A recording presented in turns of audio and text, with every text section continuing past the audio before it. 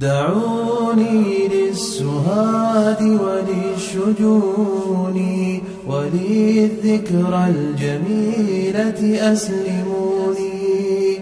دعوني للسهاد وللشجون وللذكرى الجميلة أسلموني. هما شبلان من أبناء حي. قد اكتحلت بهم دهرا عيوني. هما شبلان من أبناء حي.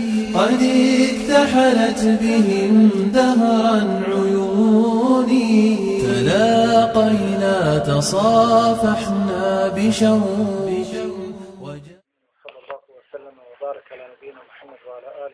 وأصحابه أجمعين اللهم لا علم لنا إلا ما علمتنا إنك أنت العليم الحكيم اللهم علمنا ما ينفعنا وانفعنا بما علمتنا وزدنا علما يا رب العالمين Draga moja braćo, poštovani ciljni džemate, večeras govorimo o jednoj vrlo bitnoj osobini. Nadam se da niste zaspat. Možda bude, možda bude malo duže, ima negdje zvučnik, sjedi kod zvučnika govorimo o jednoj vrlo bitnoj osobini. I vidjet ćemo u kakvom se belaju danas nalazimo zbog ovoga. Zbog ovoga, dakle, što ne posjedimo kod sebe, Allah najbolje zna, dobrim dijelom ovu osobinu. Zbog čega su pojedini pretjerali, zbog čega su pojedini popustili. U Allahu je subhanahu wa ta'ala vjeri. Zašto nema ustrajnosti, postojanosti u Allahu je subhanahu wa ta'ala vjeri. Govorimo o svima nama prijeko potrebnoj osobini, o jakinu ubjeđenju. O jakinu ubjeđenju. Naslušali smo se i naslušali, imamo i imamo informacija, međutim u praksi potpuno drugo. Imamo vjernike koji vjeruju u džennet i džahennem, slušaju kuranske ajete, vjerodostojne hadise koji govore o džennetu i džahennemu, međutim u praksi bore se za džahennem, ostavljaju put do dženneta. Pa ćemo večeras uz Allahu subhanahu wa ta'ala dozvolu progovoriti našto dakle o ovoj osobini, postaknuti, podstaknuti, a, sve nas da se malo zainteresujemo oko ove osobine i da preispitamo svoje srce, jer smo danas vidite kako, inače, vidite kako velikoj potrebi za dijelima srca, za srčanim ibaditima, da ispitujemo svoje srce i dobro znajmo, dobro znajmo, sve jedan ibadit koji budemo imali, spoljašnji ibadet, tjelesne ibadete, ne budu li popraćeni e, srčanim ibadetima, dijelima srca, da nam tu ništa neće vrijeti. Sutra će biti pretvoreno u prah i pepeo dobro nek nam svima bude pred očima hadis zbog kojeg je plemeniti ashab, Ebu Hureyre. On, šta bi bilo s nama, padao tri puta u nesvijest prije nego što ga izrekao. Tri puta u nesvijest prije nego što je izrekao hadis. Padao. Kada mu je došao Šufej al-Aspeh i Tabin, to je bio prvi susret sa Ebu Hureyrom, radijallahu talan, zatekao je Ebu Hureyru među ostalim ashabima u Medini, kako im se obraća, govori, citira hadisa Allahu od poslanika, alaihi salatu wasalam, pa polako se primaknuo Ebu Hureri, kada je Ebu Hureyre završio sa hadisima, rekao je o plemeniti ashabu Allahu od poslanika alihi salatu uslam, reci mi hadis koji si čuo izravno od Allahu od poslanika alihi salatu uslam, ja ću nastojati da ga čujem od tebe, saslušam te dobro, a zatim maksimalno se potruti da ga primjenim u praksu. Pa je rekao Ebu Hureyre radijallahu talan, ef'al, učinit to. Ispričat ću ti hadis kojeg sam čuo od Allahovog poslanika alihi salatu wasalam na ovom mjestu. Ja i on smo bili sami, mimo nas dvojice nije bilo trećeg. Zatim je upao nesi. Došao tebi, kaže, As'al, učinit ću to. Pričat ti hadis koji sam čuo od Allahovog poslanika alihi salatu wasalam na ovom mjestu, izravno od njega, mimo nas dvojice nije bilo trećeg. Upao nesi. Zatim došao sebi, kaže, ispričat ću hadis koji sam čuo na ovom mjestu od Allahov poslanika alihi salatu wasalam. Ja, nije bilo mimo nas dvojice trećeg, Zatim je upao nesvijest, upao na šufeja al asbehija. Zatim došao u sebi i kaže, pričat ću ti hadis. Rekao mi Allah, poslanik alihi salatu wasalam, s kojima ljudima će se potpaliti džahennemska vatra. Kojim ljudima će se prvo presuditi sutra na sudnjem danu i s kojim ljudima će se potpaliti i razjariti džahennemska vatra. Ha, o svom dobro poznate kategorije ljudi. Onaj koji je potrošio sav svoj život tražeći šarijetsko znanje i dijeleći šarijetsko znanje. Onaj koji je potrošio sav svoj imetak, dijelio ga. I onaj koji je dao i svoj život. Poginuo u borbi. Međutim, ništa od ovoga nije bilo učinjeno radi Allaha subhanahu wa ta'ala. Nasalullah Tako ogromna djela, o kojima mi možemo možda samo sanjati. Sav svoj život čovjek potrošio tragajući, tražeći znanje, proveo godine, zatim godine podučavajući. Sav svoj metak što je imao potrošio ga. I na kraju treći dao i svoj život. Pa Allah subhanahu wa ta'ala sutra na sudnjem danu dovešće sve jednog, pokazati blagodat koja ih je čekala u džennetu, da su bili iskreni, zatim ih upitati šta ste učinili sa mojom blagodati koju sam ti dao, tebi omogućio da putuješ svijetom, tražiš znanje i dijeliš ga, tebi dao ogroman imetak da ga podijeliš, tebi dao mogućnost da se boriš, da dostigneš himmetul islam, da dostigneš vrhunac islama, pa će sve jedan reći, gospodaru, tražio sam znanje radi tebe i dijelio radi tebe, nisam ostavio nijednog da nisam je li rekao o tvojoj vjeri. Onaj gospodar, nisam ostavio nijednog siromaha, nijednog fukaru da mu nisam udjelio. Gospodar, borio se samo radi tebe, pa Allah subhanahu wa ta'ala sve jednom kaže, lažeš. I svi iskupljeni ljudi, meleki kažu, lažeš. Već si tražio znanje i dijelio ga da se kaže kako si učen. Pa rekao se. Na dunjavku se rekao, na ahiretu nema ništa više za tebe. Pa si podijelio sam svoj izmetak da se kaže kako si da rezljiv, pružene ruke, pa je rekao se. Na ahiretu nema ništa. I dao si svoj život da se kaže kako si onak možda. Onak, prvi izletio na brdo. A? Nikom mimo njega. Pa se reklo, na dunjalku, na ahiretu nema ništa. Zatim će sve biti uzet, odvučen na licu i baciti u džehennem, jedan, drugi, treći, i s njima se raspaliti, pospaliti džehennemska vatra. Zatim doći nevjernici u osnovi koji su. Kršćani i židovi. Zatim doći oni i s njima, i s njima dali se poniti džehennem. Ogromna djela. Ko da bi volio da dođe sa džihadom? Sutra na sudnjem. Preselio kao še. Ko ne bi volio sav svoj metak da je podijelio radi Allah? I da imao šerijatsko znanje nešto najvrednije na dunjavu. Kaže imam Ahmed Rahimahullah ta'ala, ukoliko bude isprava nijet kod onoga koji traži znanje, ništa tome nije ravno. Ništa tome nije ravno. Da ja djelu rušej, ništa tome nije ravno. Ali je izostalo djelo srca. Ali je zastala iskrenost. Stoga smo u tekako velikoj potrebi da preispitujemo svoje srce. Kad god nešto hoćemo da uradimo, da zastanemo, da vidimo je li to zaista radi Allah. Hoćemo nešto da kažemo, hoćemo da nešto učinimo, hoćemo da zauzmemo neki stav, je li to radi Allaha, je li to po sunetu ili Muhammed Mustafa alihi sallam sam bio, a to ne znam, ne znam, nećem ju puštati. Ha? Ovdje smo dobro, koliko se sjećate, malo odužili, bilo podrže predavanje gdje smo govorili o smjernicama, o pustima o vremenima smutnjih. Pa smo spomenuli govor jednog učenjaka, kada je rekao, bolje ti je da budeš zadnji u karavani, nego prvi na čelu, da predvodiš. Da budeš ko si pisi, ja sam spreman, a večeras dakle govorimo kako ljudi olahko zauzimaju stavove bez ove i kako bitne osjećaje. Dakle, govorimo o ubjeđenju jednom od dijela srca, Reko, dakle, da moramo preispitivati svoje srce sutra, draga moja braća. Savjet svima nama, prvo meni, a onda vama, sestrama, sutra na sudnjem danu ništa nam neće vrijediti. Ništa ako dođemo sa nečistim srcem. Jaume la jensa umarun, wa la benun, illa mena es Allah bi kalbim srcem. Sutra toga dana, sudnjeg dana, ništa vam neće koristiti. Niti imeci, bogatstvo, sinovi, osim čisto srce. Koristio vam čisto srce. Zar Allahu poslanik alihi salatu sam nije rekao doista u tijelu ima jedan organ ukoliko je on čist, čisto i cijelo tijelo. Jel ovaj brat razumije bosanski? Ovaj šej, dole. Jel razumije bosanski? e, إذا صلح صلح الجسد كله وإذا فسدت فسد الجسد كله ألا وهي القلب Zar u tijelu nema jedan organ ukoliko je on zdrav, zdravo je cijelo tijelo, odnosno u cijelo tijela dolaze dobra djela, ukoliko je ono pokvarno, pokvaren taj organ, dolaze od cijelog tijela, jeli nevaljale radnje ala Allah, jel, ali, a zar to nije srce? Zato dakle i takakva nasušna potreba za našim srcem da ga preispitujemo, odgajamo, da se bavimo dijelima srca srčanim i zavisnim. Znači, večeras govorimo o i tekako kako jeli, potrebnom dijelu srca o jekinu ubjeđenju. Allah subhanahu wa ta'ala od prilike u svojoj kur, uh, knjizi u Kur'an i Kerimu spominje na dvadesetak mjesta jekin, ubjeđenje. I spominje ga na razne načine. Pa Allah subhanahu wa ta'ala opisuje vjernike da su to oni koji vjeruju s ubjeđenjem, koji vjeruju u ahiret i ostale, dakle, naredbe Allaha subhanahu wa ta'ala s ubjeđenjem.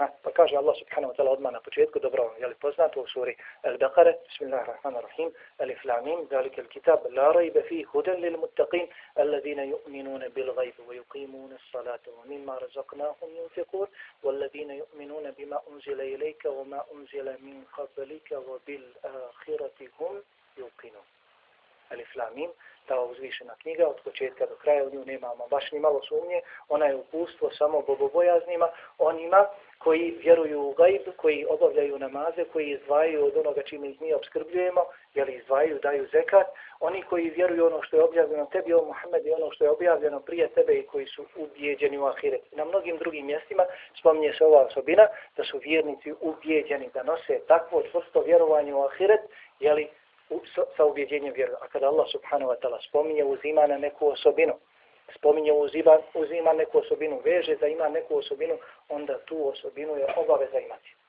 Onda tu osobinu je obaveza izgrađivati. I Allah subhanahu wa ta'ala ne negira iman, osim sa ostavljanjem one osobine, ostavljanjem onog dijela kojeg je obaveza imati. Zatim Allah subhanahu wa ta'ala kaže da ajete koje je objavljivao svojim poslanicima, vjerovjesnicima, ajete koje je dao u nama, i oko nas. Ha? I pored njihove jasnoće, i pored njihove očiglednosti, i pored njihove veličine, pouku iz njih ne uzimaju osim oni koji su čvrstog imana. Osim oni koji imaju ubjeđenje. Pa kaže Allah subhanahu wa ta'ala وَفِي خَلْقِكُمْ وَمَا يَبُثُ مِنْ دَابَّةٍ آيَاتُ لِقَوْمِ يُقِنُ Doista u vašem stvaranju. I u stvaranju svega što hodi ovim dunjalkom. Što se kreće na ovom dunjalku, doista su ajeti, dokazi, jasni dokazi, međutim za koga? Le kao nije ukrino. Pogledajte drugi ajet, kako prelijepo Allah subhanahu wa ta'ala kaže. Ha? Allah je kvar kutanski stil. Hada besairu lin nas. Ovo su znamenja, očigledni, jasni dokazi svim ljudima. Lin nas, svim ljudima. Međutim, hudan wa rahmetan li, li kao nije. Ali su milost i uputa samo onima koji su čusto uvijedi. Samo oni koji vjeruju jasni ajeti, mođice dolaze i ostalo, dakle, govori o Allahu subhanahu wa ta'ala postojanju istintosti njega i njegove poslance s kojim je slao, ili koje je slao poslanicima, međutim, iz toga uputu uzimaju samo oni koji su, dakle, uvjeđeni. Dobro, šta je jetin? Šta je uvjeđenje?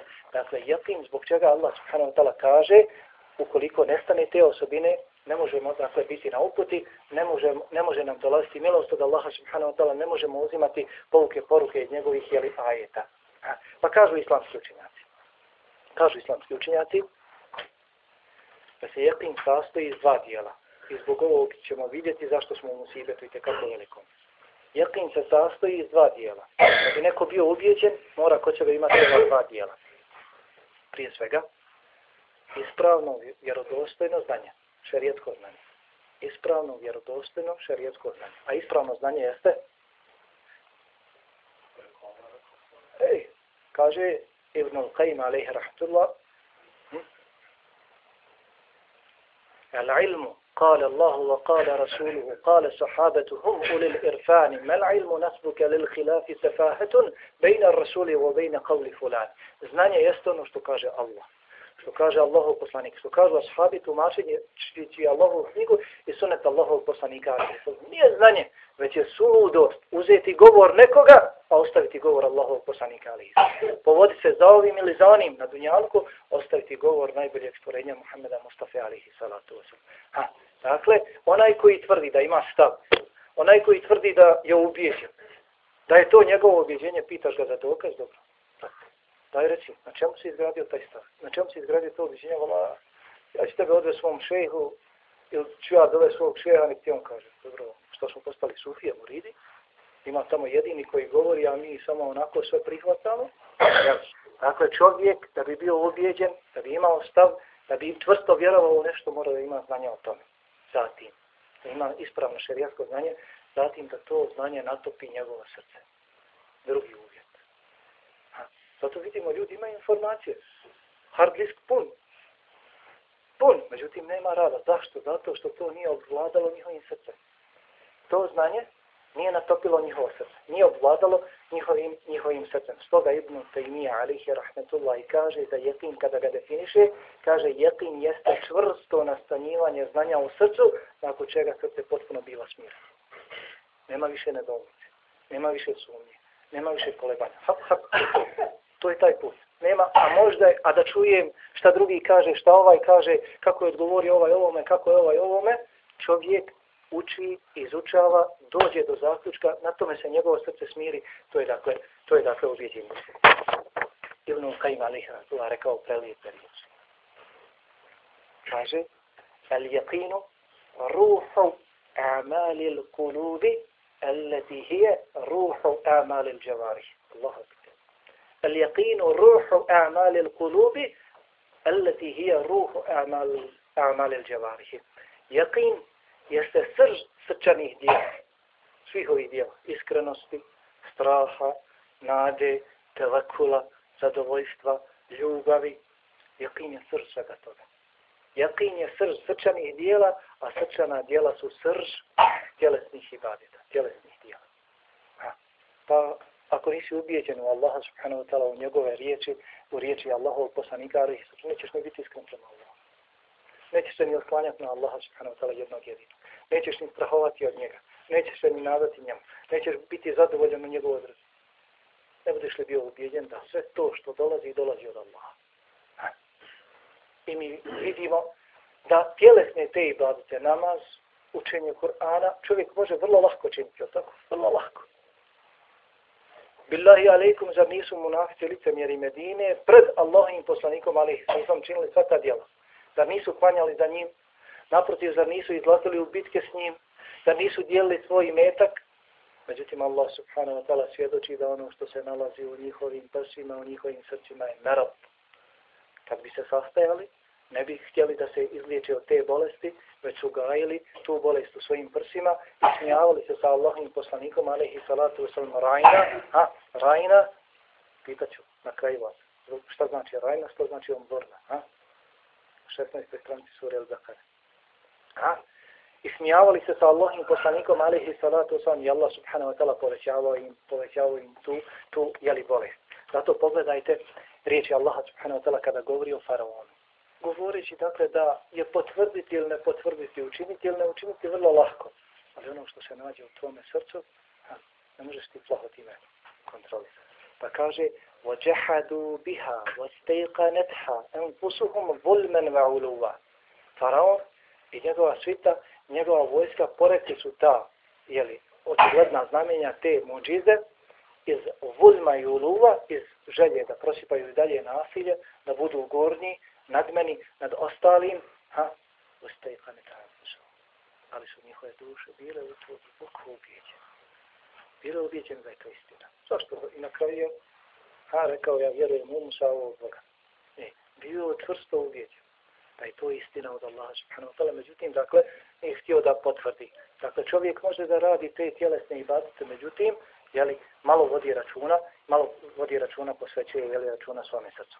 Jekin ubjeđenja, draga moja braćo, jedna je od Allahi subhanahu wa ta'ala najvećih blagodati koje može dati svome robu. I budemo li lišeni te blagodati, ne budemo li htjeli prihvatiti tu blagodat od Allaha subhanahu wa ta'ala, bit ćemo lišeni ogromnog dobra. Vidješ mnogi učenjaci hadisa, muhadisi, imam Ahmed Nesa ibn Mađe, al-Humeid ibn Hibani, Bukhari, al-Edebu al-Mufredu, od Ausata ibn Ismaila ibn Ausata, da je ustao Ebu Bekr radijallahu zalan jedne prilike na Mimberu i kaže sjećam se prvog dana kada se na ovaj Mimber ispeo Allahu poslanik alihi salatu. Zatim je zaplakao. Kao što je poznato Allahu poslanik alihi salatu jedno vrijeme ili dugo vremena i držao bez Mimbera. Zatim je došla jedna od ashabiki i rekla Allahu poslaniće kada bi ti moj sluga napravio Mimber. Ispomnije se u Buhari jedna dva mjesta događaju tamo. Ha, pa kaže Ebu Bekr, sjećam se prvog dana kada se Allahov poslanik alihi sallam ispeo na ovaj ime. Zatim plakao i plakao i plakao. Zatim nakon toga je citirao riječi Allahov poslanika alihi sallam u kojima kaže na vama je, na vama je da budete iskreni, jer je iskrenost uz dobročinstvo. To dvoje su u džennetu zajedno. I dobro se čuvajte laži, jer je laž uz razvrat, a to dvoje jeste u džahannam. Zatim kaže, molite Allaha subhanahu wa ta'ala za el-afije za zdravlje, jer doista nikome nije data veća blagodat nakon jetina od zdravlja. Nikome nije data veća blagodat nakon jetina jeli od, od zdravlja. Pa Allahov poslanik alihi sallam u drugom hadisu kada je bio upitan koje je to Allahu subhanahu wa ta'ala najdrže dijelo, najbolje dijelo kod Allaha subhanahu wa ta'ala, koje je to dijelo Allah subhanahu wa ta'ala najviše voli, rekao je imanun la šakafi imanu la iman u koje nema jeli, sumnje. Nema ni malo sumnje. Čvrst iman. Zbog ove ogromne blagodati, Allahu poslanik alaihi sallam dovio za sebe i za svoje ashabe, da im Allah subhanahu wa ta'ala podari, podari jepina, ubjeđenja. Pa vama dobro poznata dova.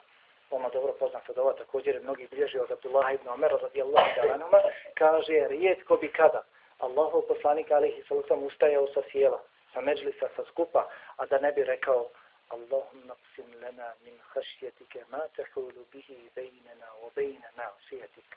Gospodaru, podari nam strahopoštovanja, bogobojaznosti prema tebi koja će biti pregrada i spriječiti se između nas i griješenja prema tebi. Podari nam ta atik, pokornosti tebi, s kojim ćemo ako Bog da dosegnuti tvoje džennete, ući u tvoje džennete. ومن اليقين ما تهون به مصائب الدنيا ma tu havinu bihi alina masaiba dunja. I podari nam jakina, objeđenja s kojima će nam svi dunjaločki musibeti biti jeli, sitni, beznačajni. Allahu poslanik alaihi salatu wasalam dovio, dovio za sebe. I zasigurno čovjek bude li iskušan, ne bude mu data dakle ova blagodat, ne bude li išao za čvrstim ubjeđenjem, za čvrstim dakle vjerovanjem, za jakinom, sve što mu se bude davalo na dunjalku, što ga bude snalazilo na dunjalku, to će teško prebroditi. Iskušenja, teško će se snalaziti u njima. Neće biti strpljiv. Dok onaj koji je, Allahi azim, i ovo nisu riječi samo da se poslušaju. A, pa već dakle da uzmemo i zatvorimo se među četiri zida kad dođemo u kući da se preispitamo. Gdje smo, šta smo, kud smo krenuli, s onim što imamo, možemo li stići do toga gdje smo krenuli ili ne. A, onaj čovjek koji bude ubijeđen u Allaha subhanahu wa ta'ala, ubijeđen na ovakav način, znao, naučio vjeru, zatim se to sve spustilo čvrsto u njegova srce i radi, potom ne obraća se, ne osvrće se ni na koga drugog, a njega što god pogodi, od musibeta, od tegoba, od nedaća, takav čovjek će sve te tegobe nedaće smatrati i ubrajati u blagodati, zasigurno. A, u, u hadisu, jer dostom hadisu od Ebu Sejida al-Hudri radijallahu talan, upitao je Ebu Sejid al-Hudri Allahov poslanika, eju nas je šebu. Koji se to najviše ljudi iskušavaju? Šta je rekao? Da spomenuo tamo nekog najzadnje? Salam. Ha? Nego spomenuo prvog. Najbližeg Allahu subhanahu wa ta'ala. Pa je rekao al-anbiya. Vjerovjesnici. Oni se najviše iskušavaju. Ha? Pa dakle, blagodati, te kakva blagodat jeste da te Allah subhanahu wa ta'ala stavi na iskušenje. Zato, zašto je Selef ha, sebe pitao, ako ne bi duže vremena imao iskušenja, pitao bi šta je s njim? Šta je s njegovim imanom? Zatim, Ibn Qayyim alaih rahmatullah kaže, jakin je vezan za cijelu vjeru. U cijeloj vjeri čovjek treba da ima jakin, da je ubijeđen. Ali posebno, kod šarijetskih naredbi, kod šarijetskih zabrana, kod iskušenja, kod kazivanja o onome što je prošlo i onome što će doći pa kod šerijatskih naredbi, jesmo li ubijeđeni? Kako da čovjek bude ubijeđen u šerijatske naredbe? Da kaže čovjek, ja sam ubijeđen. Ono što mi Allah naredio, što mi naredio Allah od poslanika Ali Isus. Prije svega, dolazi ti naredba u Kur'anu, dolazi ti naredba u vjerodostojnom hadisu Allah od poslanika Ali Isus na tebi je da to prihvatiš, da ne slušaš ove ili one koji možda jest, možda nije. Allah naredio, naredio Allah od poslanika Ali Isus završena priča. Zatim, da radiš po tome. da radiš po tome. Nakon što prihvatiš i kažeš što dolazi od mog gospodara, da radiš po tome maksimalno. Zatim, ovo ono u čemu smo dakle mi. Zatim, da se radiš kada radiš to djelo. Da si sav sretan. Da ne ideš u džamiju, na namaz u džematu, kao što mnogi muslimani idu da nije klanjaju, nego otklanjaju Otkvitaju. Hej. Nego, dakle, da ideš da se radiš. Kada te neko upita zbog čega ideš, primjer, zbog čega ideš, dakle, e, na namaz u džemat, da kažeš u tome slas moga srca, ja ne mogu bez toga. Allah naredio i ja uživam u tome. Da kažeš, kad mu zauči, ponavljaš za njim da kažeš lebejk Allahume lebejk, odazivam se dragog srca. To je rana za moje srce. To ćeš čuti od iskrenog vjernika, čije je jakin, čije je ubjedjenje, jeli, ogrom, čvrsto. Allah subhanahu wa ta'ala kaže, pogledajte, obrate pažnje. Kaže Allah subhanahu wa ta'ala, وَإِذَا مَا أُنْزِلَتْ سُورَةٌ فَمِنْهُمْ مَنْ يَقُولُ أَيُّكُمْ زَادَتْهُ هَذِهِ مَانَ Kada bude sura objavljena, sura dolaze propisi. Ovo je govor munafika. Munafiki kažu, kome ova sura povećala ima? dolaze propisi. Kome sa praktikovanjem tim propisa, kome je povećalo? Nikome.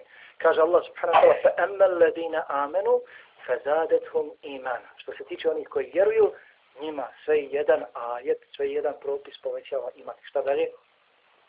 Uhum, jeste bširun. I oni se tome raduju. Raduje se čovjek da nauči što više od Allahove vjere da se što više približi Allahu subhanahu wa ta'ala. Ne smatra to tegobom, već se raduje Kada praktikuje neku Allahu subhanahu wa ta'ala naredbu, raduje se tome. Time se hrani njegovo srce.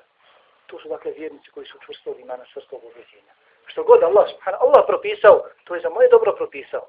To je za moje dobro propisao. Ne zbog toga da mi Allah subhanahu wa ta'ala oteža, Već dakle propisuje ono što mi Allah subhanahu wa ta'ala propisao, to je za moje dobro. Ono što mi je zabranio, također za moje dobro.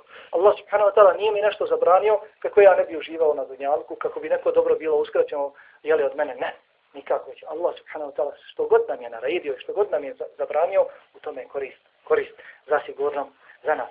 I isto tako, ha, zato ćete vidjeti Allahu poslanika alihi salatu sam da kaže Bilalu, Erihna biha ja Bilal, odmori nas njime Bilal. Odmori nas namazom. To mi se uvaramo. Allahu poslanik Arehi sam hvalja noću, pete pucaju od dugog stojanja skoro. Pa kaže, a salam kuna na ten šakur. Sada pa ne budem Allahu zahvalan rob. Ja. Također kod Allahu i subhanahu wa ta'ala zabrana. Da bismo bili ubijeđeni u Allahove, je li zabrane ono što je Allah zabranio, prije svega to prihvatiti. Allah zabranio, zabranio, gotovo, nikoga ne slušamo jasno došlo u Kur'an i Kerimu, jasno došlo u vjerodostojnom hadisu, zabranjeno je gotovo. Zatim, da ne pokušavamo ni na kakav način da učinimo to što je zabranjeno. Da ne priželjkujemo i da ne dođemo na nekakav ili sporedni ulaz. Kao oni subotari. Ja? Kad im je bilo zabranjeno da love ribu subotom, oni bacali petkom, a vadili, vadili nedjeljom. Košmere, mi ne lovimo subotom. I danas ćete naći muslimana, naši, ovakvi, koliko hoćete izigravaju se na takav način sa Allahim narodom. Koliko je danas tajnih brakova? Koliko je danas razvoda? Brat dao svojoj supruzi, ženi, muslimanki, nebrojeno mnogo razvoda. Dođeš i kažeš, brate, tri razvoda maksimalno, kaže, vola, bio pod cihrom. Kaže, bio pod sržbom, da se vadi, naučio tamo dakle, da ima ona jedna sržba, visoki stepen sržbe pod kojom se dakle ništa ne uzima u obzir i kaže, vola bio, nisam znao šta govori njoj, šta ona meni. Vadi se na to.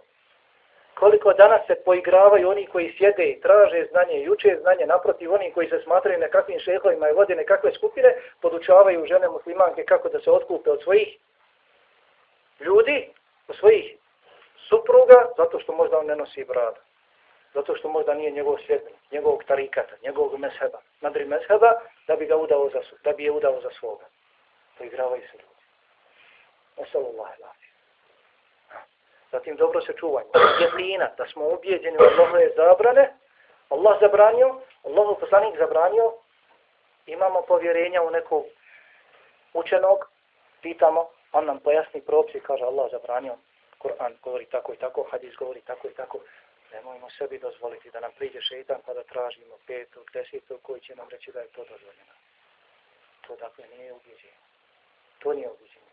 To je dakle put, jeli strasti, traženje, dakle, jeli da ti se olakša da udovoljiš svojim strastima.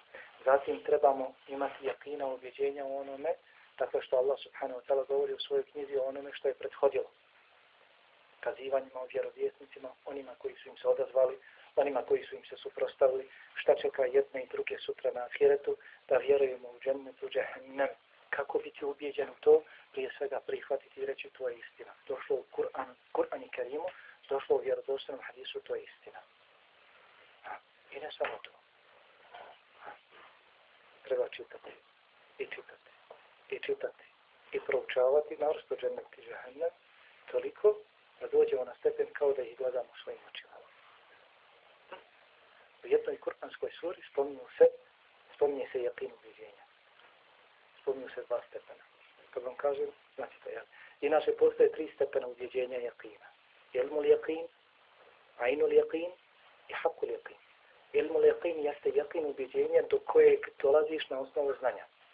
Ainu jakin visoči stepen do kojeg dolaziš nakon znanja još i kada se uvjeriš, kada vidiš svojim očima. I haku jakin jeste nakon znanja i viđenja kad se nađeš u tome. Pa u jednoj kuranskoj suri spominju se ova dva stepena, jakina. I sad, mushab. Uzim krivo. Uzim krivo. Sura Tekafir. Ili možda neko zna prijevo. Suri Tekafir, tako. الهاكم التكاثر حتى زرتم المقابر كلا سوف تعلمون ثم كلا سوف تعلمون كلا لو تعلمون علم اليقين لترون الجحيم ثم لترونها عين اليقين kako se provodi ovo ova zadnja tri ajeta كلا لو تعلمون علم اليقين لترون الجحيم ثم لترونها عين اليقين ovdje smo mi zbog ovog smo ovakvi muslimani ha kako je kako je prevedeno prevedeno smo do našeg stade mi smo takvi pa nam je tako i prevedeno kako stoji klima ne valja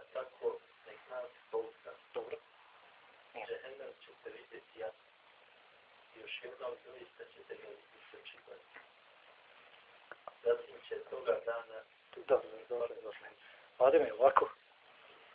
Ode se ovako. Kella, lau ta'lamuna ilma l-yaqin. Ne tako. Naprotiv. Da imate takvo ubjeđenje na osnovu ovog znanja koje posjedujete. Svi mi posjedujemo to znanje. Međutim, nismo odgojili svoje srce, oprali, iščistili svoje srce da to znanje odvlada našim srcem. Da imate tak, takvo znanje, ubjeđenje, la taravunna džahim. Vidjeli biste džahnem. Kada učite Kur'an, kada učite Kur'an, o džennetu, o džahnemu, gledali biste svojim očima džennet i džahnem. Zar nisu ashabi bili takvi? A mi se busamo i kažemo mi smo jedini, mi smo pravi. Nećemo se popraviti i nećemo biti pravi sve dok ne budemo onakvi kakvi su oni bili. Pa nisu ashabi dolazili i govorili Allahov poslaniće u istinu kad smo kod tebe i ti nam govoriš o džennetu džahannam kao da gledamo džennetu džahannam. Kalla lau ta'lamuna ilma l-yaqin lataravunna l-jahim thumma lataravunnaha ilma l-yaqin. Naprotiv, da imate znanje, da imate ubjeđenje, takvo čvrsto ubjeđenje koje je prethodilo iz ovog ispravnog znanja, gledali biste džahim, džahannam svojim očima, thumma la tarawunna hayna yaqin zatim ćete ga zasigurno vidjeti ha? u suri Marijam stoji wa in minkum illa wariduha kana ala rabbika hatman maqdiya i nema nijednog od vas da neće biti izložen džahannam da neće vidjeti džahannam sve jedan od nas thumma nunajji alladhina ittaqaw wa nadaru adh-dhalimina fiha jithiya zatim ćemo one koji su bili bogobojazni koji su čuvali Allahove granice, postavljali pregrade između sebe i tog džahennema, njih ćemo sačuvati džahennema, a ostavit ćemo da kleče u džahennemu nevjernici. Ibn Masud radijallahu talan kaže, doće se sa džahennemom na sudnji dan, kada svi su pred nođima. Dovuće se džahennem sa 70.000 krajeva povodaca, sa sve jednim tim krajem od 70.000 stojaće 70.000 melika. Svi ćemo vidjeti džahennem svi ćemo biti izloženi džehennemu, zatim će vjernici biti spašeni tog džehennema, a nevjernici će biti ostavljeni dakle će u džehennemu. Zato da trebamo učiti, iščitavati Kur'an, toliko doći dakle do tog stepena, da kao da gledamo dakle ta kazivanja, kao da gledamo svojim očima. I vallahi labim, probajmo, pokušajmo, makar jedan put da uzmemo jednu stranicu Kur'ana koja govori o tome, o džennetu i džehennemu i da malo zastanemo, da razmišljamo o tome, da se vratimo na tefsir, da vidimo šta kažu komentatori Allahove knjige, da razmislimo, da sebe vidimo u džennetu, da sebe vidimo u džehennemu, u tim uživanjima ili u tim kažnjavanjima, da sigurno naše stanje nakon te stranice neće biti isto kao prije te stranice. Zasigurno. Zato su ashabi, ashabi, deset ajeta učili, dosta naučimo, razumijemo, primijenimo, sebe nađemo u njima. Idemo onda dalje. Stoga su ha, islamski učenjaci rekli prelijepo, jakinom se gleda ahiret kao što se okom gleda dunjalog. Jakinom se gleda ahiret kao što se okom gleda dunjalog. Jakinom, vjernik koji ima uvjeđenje, ima čvrst iman kada čita kuranske ajete hadise koji govore o ahiretu kao god da gleda. Gleda svojim srcem, kao što svojim očima tako gleda, gleda dunjalu. Zatim tegobe iskušenja, kada se nađemo u tegobama, iskušenjima, belajima, musibetima, nedaćama, trebamo imati ubiđenje da to dolazi od Allaha subhanahu wa ta'ala da je to hajr, samo dobro u nama, za nas. Ha. Pa prije svega, kako doći do takvog objeđenja, do takvog jekina, prije svega, bez ove tačke ne možemo preći na dalje. Ha. Trebamo vjerovati da je Allah subhanahu wa ta'ala prema nama najmilostiviji. A nema toga koje je milostiviji prema nama od našeg gospodara. Ha. I kad god nas nađu bela i iskušenja, te gobe ne daće, što god nas nađe, nemoj da shvatimo to kao odnos neprijatelja prema neprijatelju. Da se neko iživljava. Već. Da shvati taj odnos kao svog najmilostivijeg gospodara prema svome rodu. Dobro vam je poznat hadis. Jedne prilike Allahom poslaniku alihi sallam dolazi roblja. Muškarci, žene. Allahu poslanik alihi sallam gleda to roblje i ashabi okupljeni oko njega gledaju. Ha? I zatim Allahu poslanik alihi sallam vidi. Jedna žena izlazi iz jednog sata, ulazi u drugi, treći, vraća se, traži nekoga. Pazite, nju ne interesuje šta će biti s njima. Dovedeno roblje iz bitke, šta će biti s njima, će biti prodani, otkupljeni, pogubljeni, šta? To nju ne interesuje. Ona traži nekoga. Svi ostali se brinu, šta se desiti? Ona iz jednog od drugih. Zatim nalazi onoga koga traži, tako dugo. Nalazi svoje dijete. I pred svim muškarcima, ženama, Allahov poslanik ashabi, Allahov poslanik alihi sasama ashabi, svi to gledaju. I doji svoje dijete pred svim. Ne stidi se nikoga. Pred svim muškarcima, ženama, ostalima, a doji svoje dijete. Nema se koga stidi, to je njeno. I Allahov poslanik ali isto sam gleda i ashabi. Ha, zadivljeni tim prizorom. Pita Allahov poslanik. Šta mislite? Ha? Šta mislite? Da li bi ova žena bacila svoje dijete u vatru, a u mogućnosti? Ti šta je ne sprečava? Kaže, nikako. Ne stidi se nikoga, brine se samo za njega, ne interesuje se ni za sebe, ne brine se za sebe, kako da ga baci. Samo se o njemu brine. Kaže, Lallahu arhamu bi ibadihi min hadihi bi valadiha. Allah je milostiviji prema svojim robovima od ove žene prema svome djelu.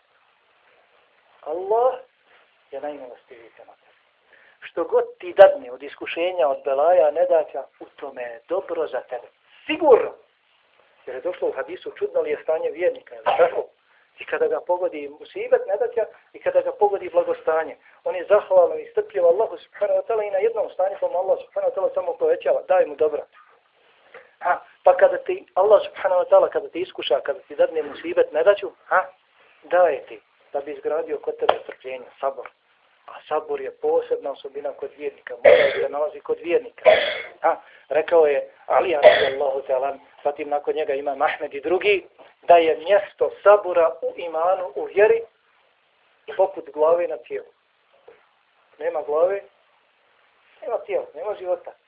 Nema sabura, nema imana. Ali je radijallahu talan povisio ton, podigao glas i rekao u istinu nema imana onaj koji nema sabora. I doista, onaj koji ne bude imao strpljenja neće imati na kraju ni iman. Ostaće bez vjera. Ha? Volasar, inna al insana lafi khusr illa allazina amanu wa amilu salihat. Wa tawasaw bil haqq wa tawasaw bis sabr. Tako mi vremena doista sve jedan čovjek zasigurno je na gubitku, sve jedan sve jedno stvorenje sutra će stradati, stradati, sve jedan čovjek će stradati, osim onih koji vjeruju. Onih koji nauče šta je iman, zatim vjeruju u to. U amilu salihat koji čine dobra djela. Ne može čovjek čini dobro djela dok ne nauči. Dok nema imana. Šta ne vjernice vam vjeri dobro djela? Ništa, nema imana. A čine dobro djela. Ha. Zatim preporučuju drugima istinu. Ne možeš preporučivati drugu istinu, a ti ne držiš se toga. I najbolji dokaz da se ti držiš imana i dobrih dijela jeste kad drugom preporučuješ istinu, pozivaš drugoga. I preporučuju strpljenje jedni drugima. Preporučujemo strpljenje drugima zato što smo, jeli i mi strpljivi. Ha, pa da krenemo od kraja. Ne bude li čovjek imao strpljenje? Mislite da će moći naređivati na dobro i tražiti da se ostavi loša djela? Planit će odba. Neće moći ustrajati u davicu. Ne bude li imao strpljenja, neće ustrajati u činjenju dobrih djela. A dobra djela su dokaz Jer u iman ulaze ljudi Jer tako.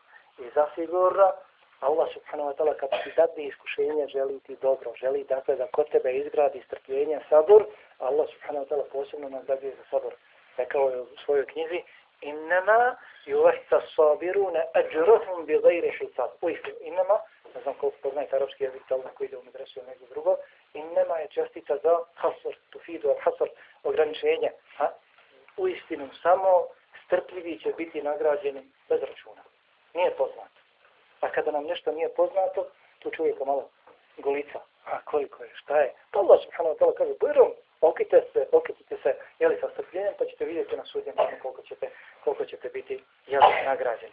Zatim, ne možeš svojim dijelima da dođeš do određenog stepena u džennetu, pa ti Allah subhanahu wa ta'ala daje iskušenje da ti time poveća stepene u džennetu, da ti obriše grijehe i sl. Dakle, iskušenja, musibet i belaj dolaze od najmilostivijeg radi svoga dobra nemoj misliti dakle, da Allah subhanahu wa ta'ala stavlja na iskušenje da ti otežao život na ovom svijetu, jeli da ti ne bi uživao, sa tim ne bi jeli, postigao neko dobro i slično. Ishodno ovim situacijama možemo se ispitati koliko smo ubijeđeni. Imamo li jakina pri sebi ili nemamo? Ha. Pa, ne učinimo nešto što je Allah naredio, ili učinimo nešto što je Allah subhanahu wa ta'ala zabranio, prekršimo njegovu naredbu i zabranu, dakle učinimo grije osoba koja ima jakina, koja ima objeđenja, neće se mnogo dvoumiti. Pokajat će se, vraća se odmah svome gospodaru. Ili tako? Zna da će ga njegov gospodar pitati za sve jedno dijelo i malo i veliko. Sutra ništa neće biti skriveno. Ha? Ma in kjane mi habbetin min hardelin, kako ide, etejna biha vokefa bina hasibin. Pa makar dijelo bilo malo, koliko je zrno goruste, mi ćemo doći s njim. A dosta je to što ćemo mi obračunavati, kaže Allah subhanahu wa ta'ala. Dosta je to. Pa čovjek koji ima jakina objeđenja, odmah se vraća svome gospodaru. Dok onaj koji nema objeđenja, koji nije čvrstog imana, nema nikakvog objeđenja možda, a njega Haman trebaš i objeđiva da je on počinio gri. To sam treba pokajati. On to i ne smatra da je učinio gri. Neki, ne, nekoj osobi moraš vaziti, vaziti, spominjati mu lijepe riječi, lijepe primjere selefa, ne bi se njegovo srce malo smekšalo, ne bi li sam pokajati s nekim se moraš družiti i družiti određeno vrijeme, ne bi li on ostavio neki dotični grijeh. Dok vjernik koji je ubjeđen u Allaha subhanahu ta'ala, Allah naredio, Allah zabranio, gotovo, završena, završena priča. Zatim kod iskušenja, kod nedaća, što god te pogodi, ispitaj se. Imaš li ubjeđenja da to dolazi od Allaha subhanahu wa ta'ala ili ne? Inna lillahi wa inna wa inna ilaihi rađio. Koji god, koji god te musibet pogodi. Zato razumni vjernik, kako kaže učenjaci, od prvog dana čini ono što Ahmak svati nakon deset dana da treba činiti. Desiti se nešto loše, tako mi smatramo, jel? Odeti neka bližnja osoba, osoba koju si mnogo volio, preseli, umre, ti znaš to je to od Allaha subhanahu wa ta'ala odredba. Nije te moglo mimo ići. Nju nije moglo mimo ići to što se desilo, jel tako? I ti od prvog dana si saburljiv na tome. Strpljiv na tome dok onaj prohaba i prohaba i prohaba i isplače se, izdere se, počupa svoju odjeću, na kraju vidi, ne može vratiti tu osobu koja je odšla. Nema drugi osim da drži jezik, jezik za zubu. Zato, dakle, vjernik, kada ga poglede belaje, musibet i tegove, je li strpljive o njima. Zatim stanje potrebe. Stanje potrebe. U stanju potrebe i tekako možemo ispitati svoje vjerovanje, svoj imam, svoje ubjeđenje. Hoćemo li tamo, neko nam može ispuniti našu potrebu od ljudi. Hoćemo li vezati svoje srce za njega i na sve moguće načine pokušati doći do toga ili ćemo vezati svoje srce za Allaha subhanahu wa ta'ala došlo nam to ili ne došlo. Putem ovoga ili onoga. Vrate se tamo na kitabu Tevhid, na poglavlje o šefaatu, gdje Muhammed ibn Abdillahab, rahimahullahu ta'ala, spominje govor šehol Islama ibn Taymiye. Ko će može biti od korista? Kaže, mogu ti, hajde da vidimo, ove četiri osobe. Ako ne mogu ti ove četiri osobe biti od kojih da ne može niko od stvorenja. To kaže prva osoba. Pa Aj pitam ja vas. Osoba koja apsolutno vlada nečim, tim što tebi treba. On apsolutno vlada time, pa ti može dati. Ima li takve osobe? Nema. Allah subhanahu wa ta'la je jedan jedin istinski vlasnik. Vladar svih vladara. Zatim druga osoba. Osoba koja sa Allahom subhanahu wa ta'ala vlada u nečem. Imam takve osobe? Treća osoba koja pomaže Allahu subhanahu wa ta'ala. Pa da kaže gospodaru ja tebi pomažem, pomosti ovom mahababu. Imam takve osobe? Nema. I četvrta osoba kaže sutra na ahiret. na sudnjem danu da dođe i kaže gospodaru ja se zauzimam za ovog svog i svog da mu oprostiš grijeh da ga uvedeš u džanu. Može li to sutra uraditi tek tako, kogod hoće? Najbolje stvorenje. Allahov poslanik Muhammed alaihi salatam neće doći Allahu subhanahu wa ta'ala i reći gospodaru ja zauzimam sve da otpočne suđenje. Neće. Već će pasti Allahu subhanahu wa ta'ala na seždu. Ispodarša. I doviti. I doviti. Hvaliti. Slaviti Allaha subhanahu wa ta'ala sa posebnim tahmidima. Jeli? Pa će Allah subhanahu wa ta'ala reći ja Muhammed jesar. O Muhammede podigni svoje glavu. Zbori. Govori. Slušat ćeš te. Traži. Zauzimaj se tvoje zauzimanje Će biti prihvaćeno. On Muhammed Mustafa alaihissalam. Dakle, niko ti od ove četvorice ne može biti od koristi, ne može odagnati od tebe šta je. Onaj ko može, jeste jedini Allah subhanahu wa ta'ala, zato za njega treba čovjek vezati svoje srce. I budemo li se vezali samo za Allah subhanahu wa ta'ala, ništa nas neće iznenaditi. Ništa. Pratski savjet svima vam obraćam. Vežimo se samo za Allaha subhanahu wa ta'ala. Budemo li priželjkivali da zadobijemo naklonost ovog ili onog, kad tad možda ćemo se sutra u njega razočarati. I bit će nam to teško. Veži svoje srce za Allaha subhanahu wa ta'ala, nikada se nećeš razočarati. Nikada. Zato je Fudaj Libni Jad rekao prelijepe riječi da se mogu ispisati zlatom, ne bi, ne bi bilo puno. Rekao je, ko spozna ljude, otvorit će. Ko spozna ljude, odmorit se. ljudi ne mogu ništa niti koristiti, niti štetiti. Jedne prilike, velikom učenjaku i pobožnjaku iz generacije Tavijina, Ebu Hazimu Selenu ibn Dinaru, rečeno je, bio je upitan šta imaš od imetka. Koliko si bogat? Kaže, Allah, imam pouzdanje o Allah. Dovoljno mi ono što mi Allah propisao.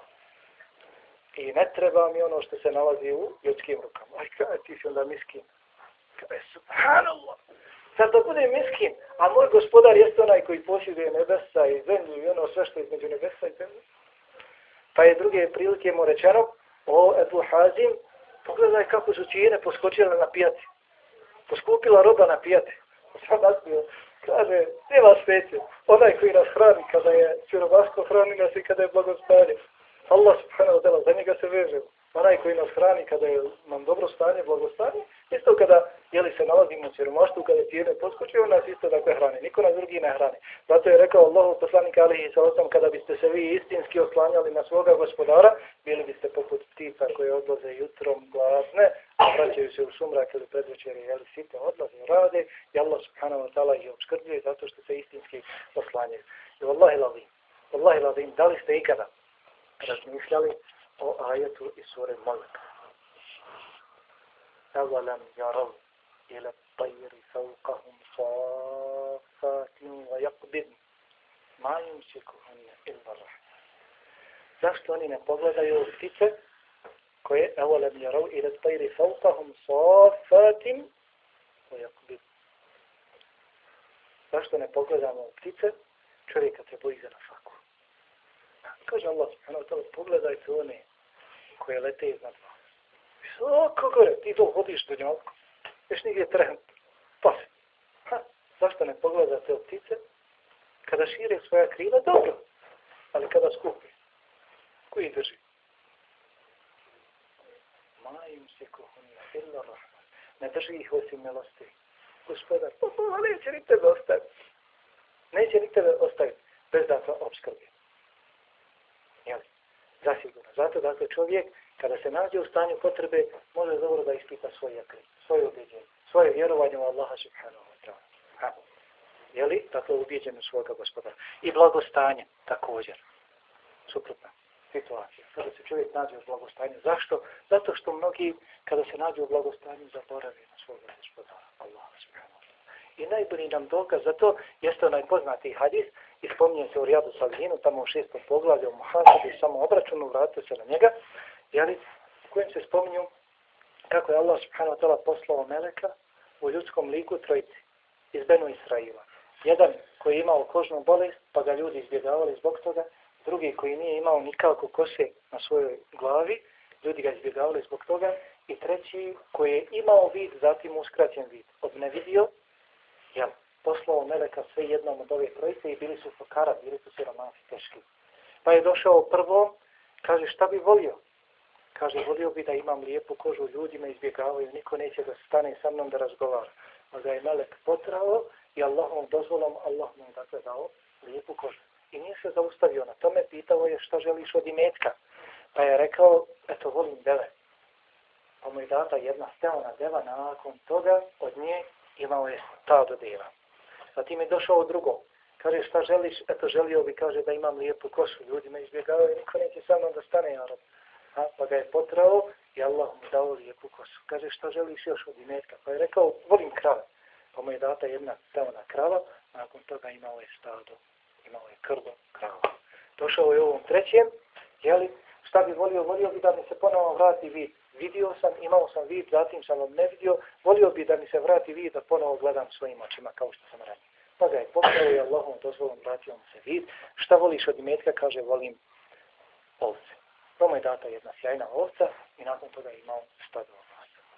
Kroz izvjesno vrijeme, kada su imali stado veo, stado krava, stado ovaca, postali, postali, spominju se, poslao Allah subhanahu wa ta'ala meleka.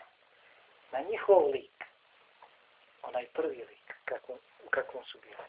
Pa je poslao meleka u ljudskom liku, prvom sa kožnom bolestom. I kaže putnik, kome je ponestalo srstava na putovanju, tražim samo jednu devu, da dođem do svoga odredišta. Puno dugova. Ne mogu, moram dok vratim ovom, dok ovom, dok ovom, dok ovom, nikad na tebe, ne mogu. Kaže, ke enmeni arifuk, kao da te ja znam od. Da nisi bio takav i takav, kaže, nikad. Rođen ovako. Ha? Kaže, rođen ovako. Kaže, da nisi bio siroma? Kaže, ne, ne, naslijedio. Kaže, ne, kaže, naslijedio svojih predaka. Sve dobro. Ako lažeš, ako nije istina to što govoriš, onda neka te Allah vrati u svoje prvobitno stanje. Sve, završući. Dolazi drugom, traži samo jednu kravu da dođem do svog. I došao ovom, kako se, podsjetio ga i svojim izgledom na njegovo stanje kakav, u kakvom je bio. Ha? Samo jednu kravu da dođem do svoga odredi. Kaže, puno dugo, ala, ono, ne. Kaže, da, da te odnekle ne poznajem. Kaže, ne, ne, ja sam ostao vakal, naslijedio bogatstvo od svojih. Kaže, tamo, ako lažiš, nek te Allah vrati u tvoje prvobitno stanje. Došao treće, koji je bio, e, imao vid, zatim odnezdio, zatim Allah subhanahu wa ta'ala ponovo vratio vid. Došao mu u liku slijepca i kaže jednu ovcu tražim, pa ponestalo mi sredstava na putu, tražim samo jednu ovcu da dođem do svoga putovanja. Kaže, ja sam bio takav kakav si bio. Allah rekao. Ja sam, nisam vidio, bio sam slijep, pa mi Allah vratio. I bio sam siromah takav ko ti, nisam imao ništa. Ti si našao se na putovanju, bez novaca, bez imetka, bio sam ja takav. Kaže, usmi što god hoćeš. Što god uzmeš, ja te za to neću obračunavati, neću te pitati. Što god. Kaže, neka, zadrži ti. Ha, samo vas je Allah stavio na ispit, na kušnju. Pa su tvoja dvojica hababa pali, a ti si položio, ti si položio ispit. Dakle, ljudi, kada dođu u blagostanje, lijepo žive, zaboravi, zaboravi. Kad je bio rat, svi mi dobro znamo. Kako su džamije bile pune, koliko je bilo mahrama, koliko je bilo nikaba, koliko je bilo djetice, a danas minđuše i ovdje i ovdje i na petom, na desetom mjestu, i nikaba sve manje i manje, mahrama također, džamije, vazduh, ganja se tamo vam, ako otvorimo ovdje prozor. E. Allahom stan, kako doći do jakina, kako živiti i uživati u jakinu objeđenju. Prije svega trebamo znati, draga moja braćo, da naša postojanost u vjeri nalazi se u rukama našeg gospodara, Allaha subhanahu wa ta'ala, i od njega trebamo tražiti. Prvo što trebamo činiti jeste da vas svome gospodaru Allahu subhanahu wa ta'ala obraćati se da nam podari jeqina, omin ili jaqini, a tu hevinu bije alina na sa'ibe dunja. Allahu poslanika alaihi su sam učio, zar za mi naučimo? Ha. Zatim, draga moja braćo, trebamo tražiti šarijatsko znanje. Trebamo tražiti šarijatsko znanje. Nema jeqina, nema ubjeđenja, nema stava, nema ispravnog vjerovanja bez znanja bez znanje. znanja. Onaj koji tvrdi da može imati ispravno vjerovanje, da može imati čvrste stavove, da neće sutra skrenuti ovdje ili ondje popustiti ili pretjerati bez šerijatskog znanja neka proba. Neka proba. Neće daleko stići. Neće daleko stići. Jer, zatim, od stvari koje izgrađuju jakin, doprinose vjernikom objeđenju, jeste i odbacivanje sumnji, odbacivanje nejasnoća, odbacivanje, jeli, nedoumica. Jeli? Pa vjernik neće svašta slušati, neće svašta čitati. Jer mi jedemo svašta i pijemo. Ha? Ne jedemo, ne pijemo, nećemo svašta ne slušati, I čitati. Pa neću zavjeriti na ovu strancu, neću zavjeriti na ovu strancu, neću da malo čujem ovoga, da malo čujem ovoga. Onaj ko želi da kod sebe izgradi čvrst iman, ubjeđenje, bude li slušao sad malo ovog, malo ovog, da vidim kako jedan drugom odgovorio, šta kaže ovaj za ovoga i ovaj za ovoga, neka zna da daleko neće tići. I onaj koji bude pokušavao da udovolji svima i odgovori ovom i odgovori ovom i odgovori ovom, nikada neće daleko stići. Dobro znaj. Dobro znaj. Zatim od stvari koje doprinose jakinu jeste čvrsta odluka. Dolazi naredba od Allaha, dolazi naredba od Allahov poslanika, ali sallam, dolazi zabrana od Allaha, od Allahov poslanika, ali čvrsto odlučujemo, radim i gotovo. Završena priča. Budemo li mi sjeli sa sobom, razmišljali, ako ja to budem radio, koliko ću ja provesti vremena u tome, budem išao na svaki namaz u manestitu džamiju, koliko ću vremena, budem li prihvatio se, vala sad labilan čovjek, budem se prihvatio vjeri kako treba, izgubit ću svoje društvo, hoću li naći novo društvo, šta će reći moji roditelji, šta će reći moj komšiluk, šta će reći moja zajednica, udjelim li nešto od imetka, hoće li mi se to vratiti, gdje će otići taj imetak. Bude li čovjek razmišljao na ovakav način, nikad neće ništa raditi. Nikad ništa neće raditi. Poput ono, ha, bio na desu na predavanju gdje se govorilo o udjeljivanju, o sadaki, o udjeljivanju na long putu, uf, njega to popalo, kaže, u kola, jo, dođem kući, dijelim svoj imetak, sve ću podijeliti pa ide vozi, e, malo da podijelim pola dosta. Da dodim pola dosta. Odmiče malo, kaže, eto i trećina, ha, može to. Četvrtina, na kraju kad je došao s tetkom, porazgovarao sa ženom, šerpe, lonci, garnitura, ovo, ona, ovo, samo nije na kraju. Ništa. Čovjek kada čvrsto odluči i radi, jel, zasigurno će i uraditi. Zatim, od stvari koje doprinose jakinu jeste i klonjenje strasti zabranje strasti, nedavanje, dakle svojoj duši, jeli, ne udovoljavanje duše, udovoljavanje strastima. Kako kaže Ibn Kajim alih rahmatullah, osnova bogobojaznosti jeste klonjenje zabranjenog, odnosno suprostavljanje nefsu, onome na što duša postiče, pa onoliko koliko se vjernici budu suprostavljali svome nefsu, svojoj duši, koliko će i postići jakina, ubjeđenja, kaže Ibn Kajim alih rahmetullah. Plodovi koristi jakina.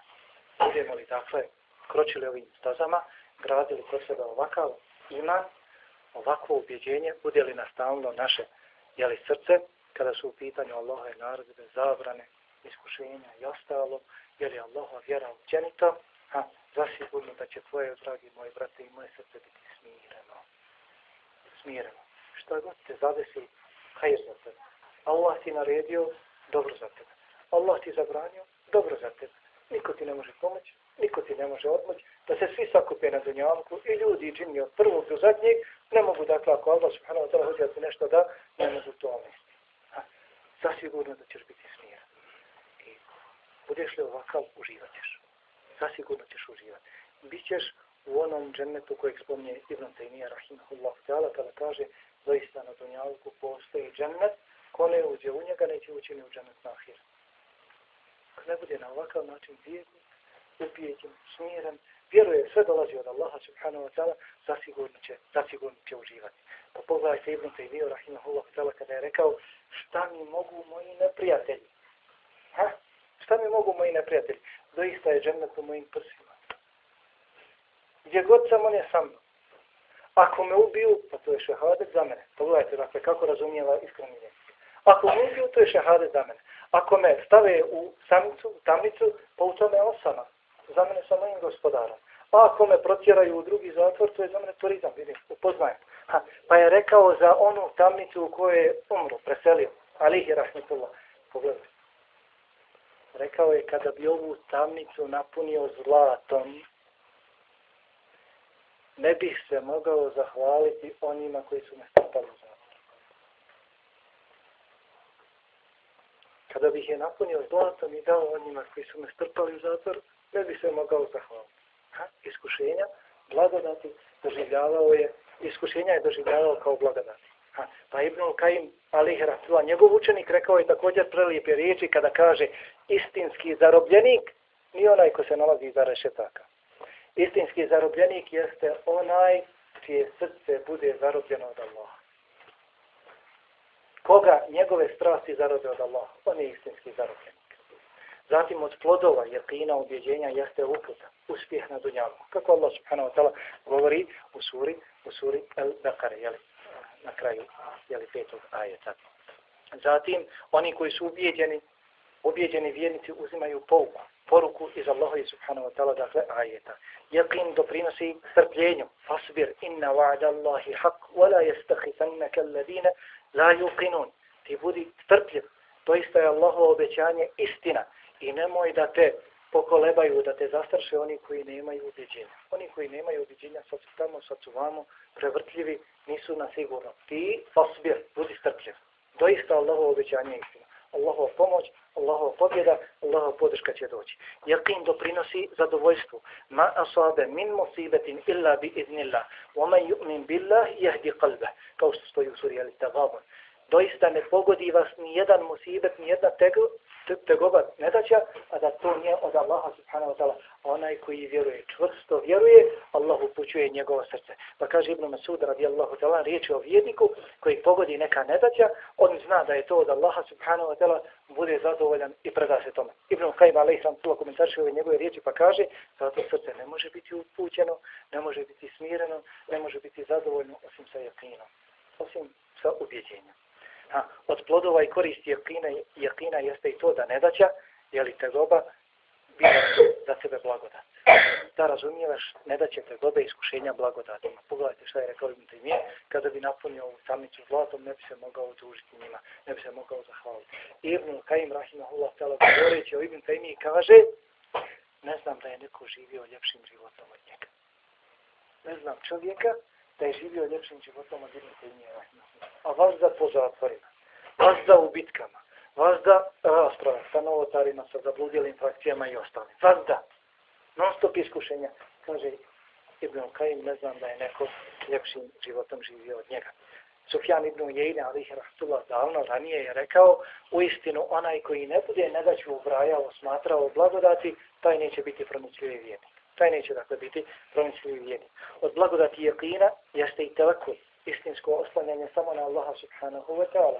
Kao što smo rekli, onaj ko ne bude imao jakina ubiđenja neće biti niskran, prema Allahu subhanahu wa ta'ala neće se ne oslanjati samo na Allaha subhanahu wa ta'ala, neće se narosti strahovati u Allaha subhanahu wa ta'ala. Kaže Allah subhanahu wa ta'ala, فَتَوَكَّلَ عَلَى اللَّهِ إِنَّكَ عَلَى الْحَقِّ الْمُبِينَ Ti se osloni samo na Allaha subhanahu wa ta'ala. Zašto? Zato što si ti na jasnom ubiđenju, kaže Ibn Qajma aliha, to ovdje, el-haq, el-mubin, jeste dakle hak ima značenje jakina ubjeđenja na jasnom ubjeđenju. jakin sa strpljenjem, jakin sa strpljenjem doprinosi vojstvu imanstvu. Vi što budete imami u vjeri, da se ljudi za vama povode, ne može preko neći. Ne može sa šehadetu zur, sa svjedočanstvom, diplomom. Ne može sa mnoštvom brojnika, ko smo, mi smo, imamo za sebe, 3000 i ostalo. Ne može. Kaže Allah subhanahu wa ta'ala, može biti postupanje po mojim naredbama, strpljenje na tome, postojano strpljenje, biti strpljiv na tome i biti ubijeđen da će doći vrijeme da vi postanete imanci. Vađalina minhum, e imete jahdune bi emrina, lemma saberu, wa kanu bi ajatina yuqinu. Mi smo od njih činili imame, izvodili imame, jeli, nakon što su postupali po našim naredbama, bili strpljivi i ubijeđeni dakle, u, naše, u naše ajete. Jekin postiće zasigurno vjernika da ustraje ustraje jeli, u Allahoj vjeri. Zašto? Kada god nešto radi, kao da gleda svojim očima da je nagrađen za to. U hadisu je došlo, niko od vas neće podijeliti sadaku milostinjom, pa makar to bilo koliko je temr, koliko je datula, a da to Allah subhanahu wa ta'ala neće milostivi, neće prihvatiti svojom desnicom, pa ta sadaka milostinja će rasti, rasti, rasti, rasti, rasti, sve do dosegne veličinu uhuda. I vjernik koji je ubijeđen, kada udjeljuje svoju marku, kao da gleda kako raste kufet. I non stop. Allah obećaje za ovo djelo ovoliko, za ovo djelo ovoliko. I ti vjeruješ na takav način, zar da ostaviš? Zar da ostaviš? Nikad. Jel? Zatim postojanost pred neprijateljima. Za sigurno. Ne mogu opstati oni koji su. Mi se ne borimo protiv neprijatelja eslihom na oružanje, brojnošću, već se borimo imanom. A? I pogledajte, kada je došao faraon sa svojom svitom i vojskom, u pojedinim predanjima stoji da je bilo koliko. Te čitao? A? Reci, reci. Kad bi dodao još jedno nulo, možda bi bilo blizu. Šestotina hiljada. Faraon je došao sa šestotina hiljada svoje vojske. I zatekao Musa i njegov narod ispred njih more. Talaci, valovi bacaju iznad njih. A? I kažu vjernici inna na mudreku gotove. Stigli su nas. Faraon koji je dugo vremena svake godine kratio mušku djecu za glavu. Ubijao.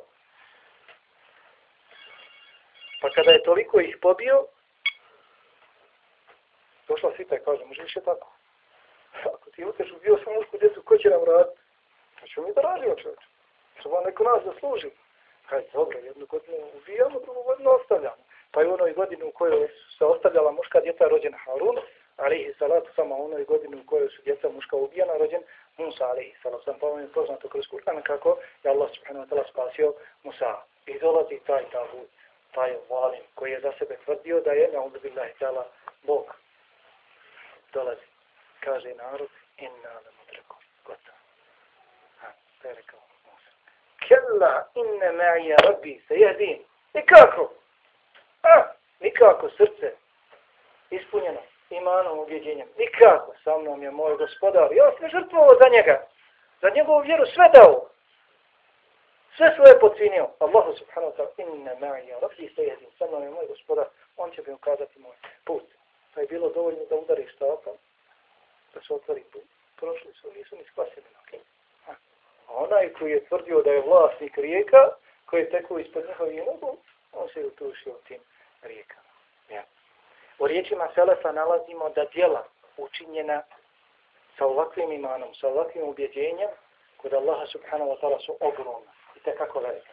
Pa kaže Ebu Darba radijallahu talan, dobro djelo, makar bilo malo, koliko je zrno gorušice, učinjeno od bogobojaznog, ubijeđenog roba, bolje je i teže od brda djela koje učine osobe umišljene sobom hm.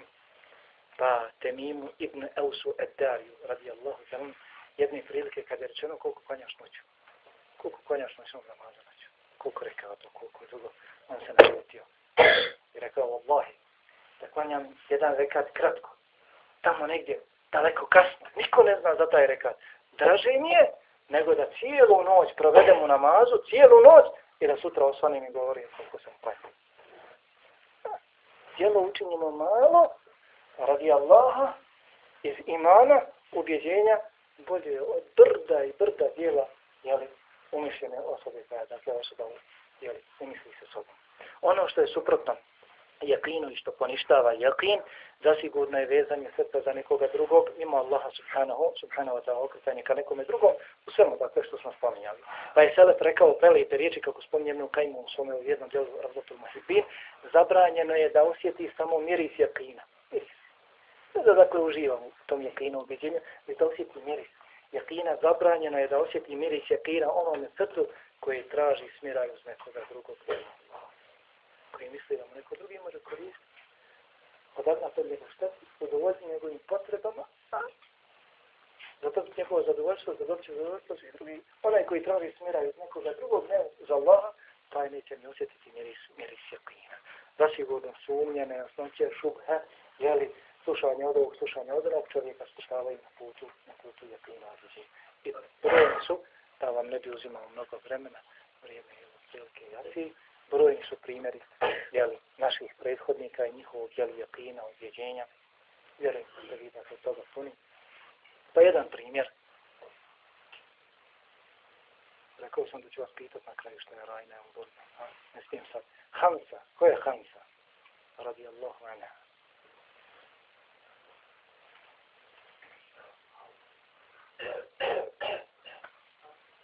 Sveh, imam fadlik. ko je Hamza? Radi Allah. Ja rigal. A? Ja na jednom mjestu pitao ovako malan brat odgovori. I to ti ti, ako da čitaš knjige? Hamza. Hamza radi Allahu ta'ala anha je sahabika, plementa sahabika koja je. Prije primanja islama u džahilijetu izgubila brata po imenu Sahr. Pa kada je umro, kada je preselio, umro, oplakivala ga zajedno sa ostalim ženama i kaže da nije ovih žena i da nije ovog naroda, vidjeli bi se šta bi uradila. Ubila bi se. Dolazi islam, dolazi iman, dolazi jeqin, ubjeđenje, pa gubi u jednoj bitci svoga babu, svoga muža, svoga sina, svoga brata. Četiri najdraže osobe. Imali dražih i bližih osoba tebi? Babo, suprug, sin, plod tvoga srca, brat s kojim si rasla. Odgajala se. Ha. I samo pita gdje je Allah poslanik? Ejna Rasulullah. Ejna Rasulullah. Ejna Rasulullah. Kada je vidjela Allahov poslanika, ali ih sam kaže Allahov poslanik će svaki musibet nakon tvog odlaska je podnošljiv. I brojni drugi primjer. La tahazan inna Allah na. Kada je Allah poslanik, alaihi sallam rekao Ebu Bekru, kada se nalazili dakle, u pećini, a mnogobožci došli u potragu za njima, za Allahim poslanikom, ali i Ebu Bekrom, na domak pećine, ha, samo da pogledaju u svoje dole nožne prste, vidjeli bi Ebu Bekra i Allahov poslanika, ali sallam, Allah poslanik kaže, la tahza, inna Allah na la tahza, inna Allah je doista je Allah subhanahu wa ta'ala sama, ne tuguj na žalost, Allah će nam zasigurno spasiti. I jedan ovako šaljev, da završim s njim, u biografiji jednog faqiha i muhaddisa po imenu Hajva ibn Surejh et-Tuđibi. Spominje. Dakle, u njegovoj biografiji spominje se ovo. Da je bio, zato bio je učen čovjek, Fatih i muhaddis.